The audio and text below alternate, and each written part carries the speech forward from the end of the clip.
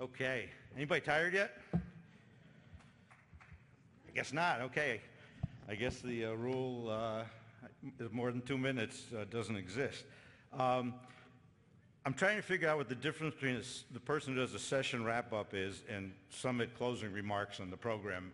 So I've been looking at it all afternoon, and, and I still haven't figured it out. So let me begin. Um, uh, as board chair at CEG, it's been a real privilege for us to be a uh, involved, a participant, and a sponsor. Um, and I think uh, we're providing you some drink tickets that I think are there. So I know that's an important part of your day. Um, today's been a great example of taking an idea that's new, certainly new to our area, and making something really special happen.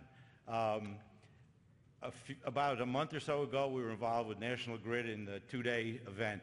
And I was there early in the morning of the first day, and there was just all this energy in the room. And I was there for the last hour of the second day, and there was just as much energy in the room. As I'm standing there and looking around, I don't see very many empty seats. So I think that's a great uh, barometer uh, of the success that we've had.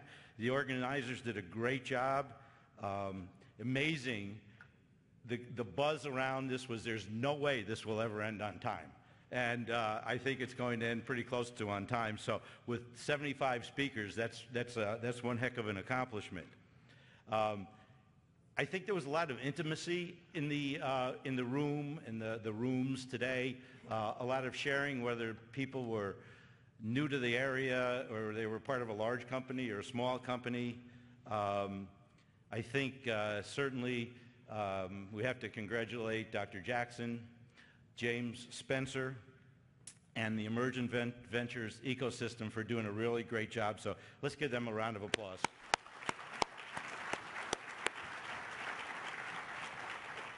Okay, so at this is a point now we can all take a deep breath, and I just want to share a couple more things with you.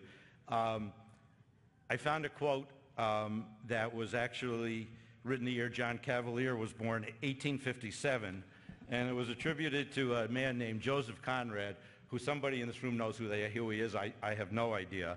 Um, but it sort of paraphrased a little bit about today. And I think it says simply this, it's only those that do nothing that make no mistakes. And I think a lot of the speakers shared all the mistakes they'd made, all of the things that uh, they could have done better and the lessons learned.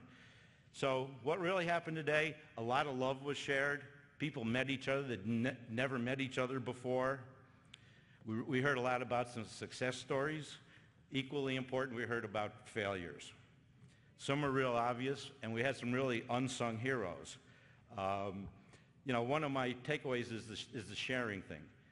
And I guess that was good for one is good for all really holds true. Um, so a lot of territory was covered, and just a couple last things. A theme that I uh, made a note of as I was listening was the importance of culture and how that is. And I think when Doug Hamlin shared with us his story a few minutes ago about his accident that he had when he was 23 years old and how his company supported him and gave him the laptop, um, that's a great lesson that we should all take away. Um, the other thing, the worst behaved person today was Rick DeRico because he got like flagged like 20 times and, and would not be quiet, so I don't want to fall into that same trap. Um, and I guess the most honest award was one that I'm very unfortunately I missed this morning. Um, but it was uh, uh, Tara who spoke, and I, will let you, those of you who were here share Tara's story with others, but I understand that she was definitely the most honest of all the speakers. So right now, as we move to close today's event before James comes forward, um, I'm really happy that, uh, to, that we're able to be a part of it. Um, I think this region really empowers entrepreneurship, and today was a great example of it. And I did find one last quote, and that was from Henry Ford, and I think it's very important or very consistent with the message today. And it goes very simply, if I had asked my customers what they wanted, they would have just said faster horses.